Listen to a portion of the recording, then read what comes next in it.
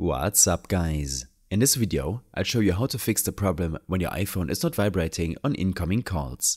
The first step to verify are your sound and haptic settings. Open the settings app on your iPhone.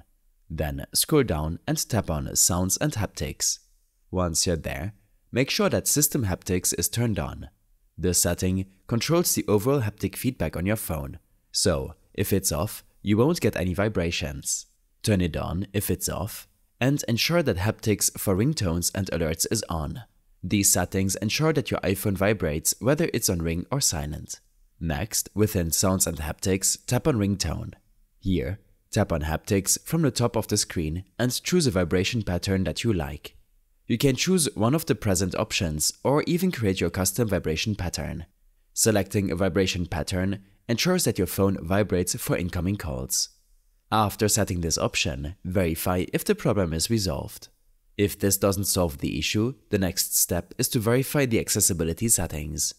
Go back to the settings homepage and this time tap on accessibility from here. Scroll down and tap on touch now. Ensure that the vibrating toggle is turned on. This setting allows your phone to vibrate in response to notifications, including calls, so it's essential that it's enabled. If vibrations are still not working, it's important to verify whether focus modes like Do Not Disturb are activated. Swipe down from the top right corner of your screen to open the control center. Look for the focus icon and make sure it's turned off.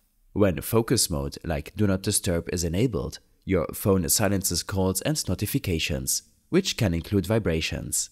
Turning this off should restore your phone's vibration functionality for incoming calls. If none of these steps worked so far, it's time to consider resetting all settings on your iPhone. This will reset all of your customized settings, including Wi-Fi passwords and display preferences, but it won't delete any of your personal data or apps. To do this, head back to your Settings app and tap on General. Here, scroll down to Transfer or Reset iPhone, and then tap on Reset from here. Select Reset All Settings. You will need to enter your passcode to confirm. Once your phone restarts, check if the vibration issue is resolved. Although resetting all settings is a bit of a hassle, it can often fix deeper configuration issues. If resetting all settings didn't work, it's a good idea to verify if your phone software is up to date. Head back to your Settings app and tap on General. And then tap on Software Update. If an iOS update is available, download and install it.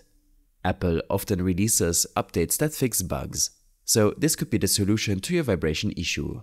If you're on a beta version of iOS, consider switching to the official version, as beta software can sometimes have stability issues.